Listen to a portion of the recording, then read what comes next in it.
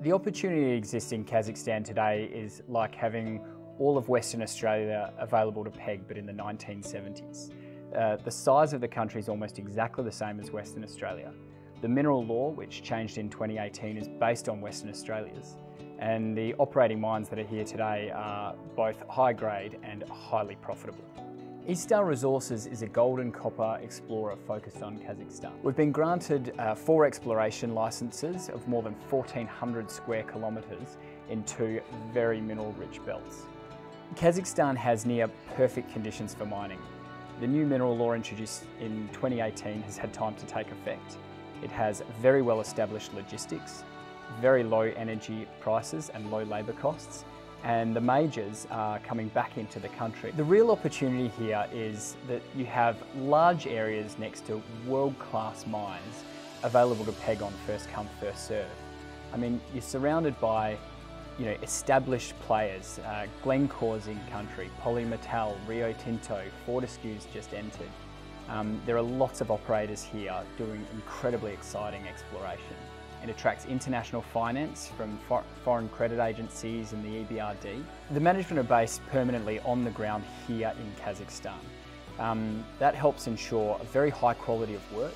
It lowers our costs, it speeds up our access to data and new projects and definitely gives us a first mover advantage to secure new land packages. All of our projects have large mine potential but without large mine requirements.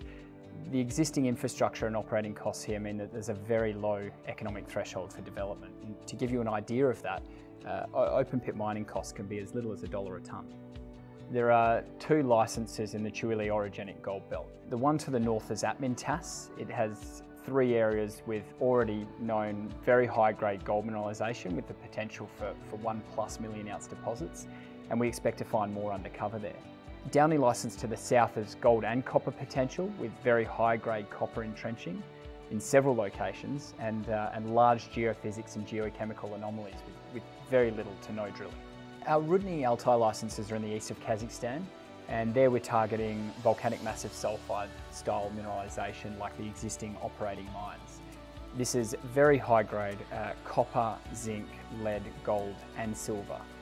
Our licences have power lines and rail running right through the middle of the tenements and there are two very hungry mills close by. The historic work has been trenching, sampling, uh, limited geophysics and limited drilling and more recently uh, we have flown magnetics, more than 700 square kilometres of magnetics over both the Dalny and Atmintas licences.